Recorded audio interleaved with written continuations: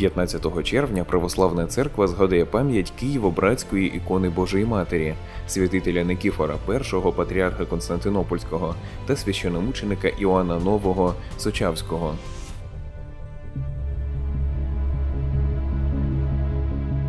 Києво-братська ікона Божої Матері була явлена в 1654 році, коли литовське військо під проводом свого князя Радзивіла, готуючись напасти на Київ, зупинилося на ночівлю в Вишгороді і почало грабувати місто, не зупиняючись і перед святиною.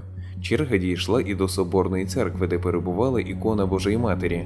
Один з воїнів, бажаючи образити всіх православних, вдарив рушницею по лику Богоматері, з якого потекла кров, немов без рани. Ту ж ніч Божа матір з'явилася Радзивілу і пригрозила, що якщо він не покарає її кривдника, то не вийде живим з Вишгорода. На ранок князь велів відшукати безбожника і повісити, і спішно вийшов з Вишгорода, не заподіявши йому ніякого розорення а ікона, прославлена вдячними вишгородцями, стала однією з шанованих святинь міста. У 1662 році під час війни з Польщею місту Вишгороду було завдано великої шкоди з боку кримських татар, які воювали в союзі з поляками. Храм святих страстотерпсів Бориса і Гліба був розорений і зганьблений ворогом. Проте промислом Божим ікона Божої Матері була збережена, її своєчасно винесли з храму і пустили по Дніпру річка винесла святу ікону до берега Подолу в Києві, де вона була з великою радістю прийнята православними і з належними почестями, перенесена в братський монастир, від назви якого і отримала свою назву. Там святий образ перебував протягом довгого часу. У 1919 році Києво-Братський монастир і Київська духовна академія були офіційно закриті радянською владою, а ікона безслідно зникла. Відомо, що на момент зникнення ікона була прикрашена дорогою позолоченою ризою і безлічю дорогоцінних каменів.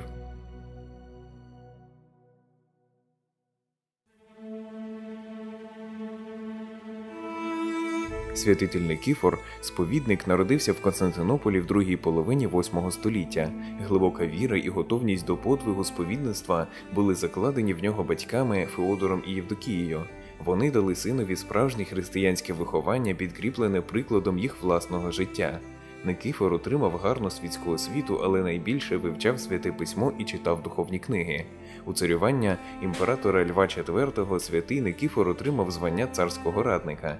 Перебуваючи при царському дворі, він продовжував вести суворе добродійне життя, твердо зберігав чистоту православної віри і ревно захищав шанування святих ікон. Коли у 787 році в Нікії був скликаний сьомий Вселенський собор, Никифор від імені імператора виступав на ньому на захист православ'я, чим надавав велику допомогу святим отцям собору. Через декілька років, обтяжений притворною суєтою, він залишив службу і оселився в самоті при Босфорі, проводячи життя в наукових працях безмовності, пості та молитві. У 806 році, після смерті патріарха Тарасія, святий Никіфор був обраний на його місце. При імператорі Львові п'ятому вірменину, ярому прихильнику іконоборчої Єресі, для церкви знову почався період смут і гонінь. Імператор не міг відразу почати відкрити гоніння на православ'я, оскільки іконоборство було засуджено сьомим Вселенським собором, тому він почав викликати із заслання єпископів і кліриків, відлучених від церкви сьомим Вселенським собором. Склавши з них єретичний собор, імператор зажадав, щоб патріарх з'явився для дебатів про віру. Патріарх відмовився, оскільки вчення іконоборців вже було піддане анафімі Вселенським собором. Він всіляко намагався напоумити імператора і його оточення, безбоязно роз'яснював народу вчення про шанування святих ікон. Тоді єретичний собор відлучив патріарха Никифора від церкви і його заслали на острів Проконіс у Мармуровому морі. Після 13 років поневірянь та утисків святий патріарх Никіфор помер у вигнанні 847 року. Нетлінні мощі святого патріарха Никіфора, що пролежали в землі 19 років, з торжеством були перенесені до Константинополя в соборну церкву Святої Софії. Святитель Никіфор був видатним церковним діячем свого часу, прикрасою століття і кафедри кафедри і, багато послуживши церкві, залишив велику духовну спадщину, численні праці історичного, догматичного та канонічного змісту.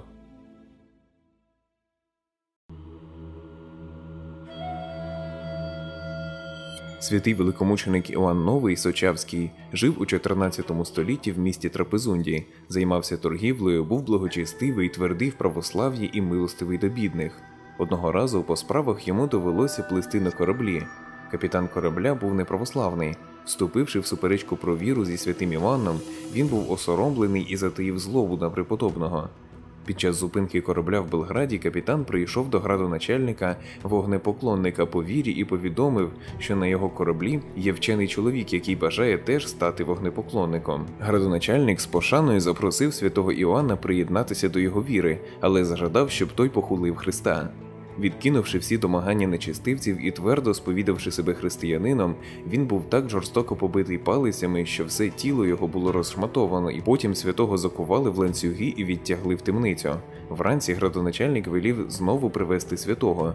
Мученик постав перед ним світлим і радісним обличчям. Від повторної пропозиції відректися від Христа безстрашний мученик відмовився з колишньою твердістю, викривши правителя, що він служить сатані. Тоді його знову побили палицями, так що всі нутрощі його оголилися. Присутній народ не виніс цього страшного видовища і став обурено кричати, викриваючи правителя, який настільки жорстоко катує беззахисну людину.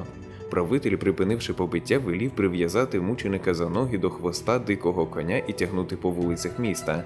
Жителі єврейських кварталів особливо знущалися над мучеником, кидали в нього камінням, а нарешті хтось схопив меч і відрубав йому голову. Тіло великомученика з відрубаною головою лежало до вечора, ніхто з християн не наважувався взяти його. Вночі над ним було видно стовп, що світився, і безліч палаючих смолоскипів. Три світлоносних чоловіка здійснювали над тілом святого спів псалмів і кадіння.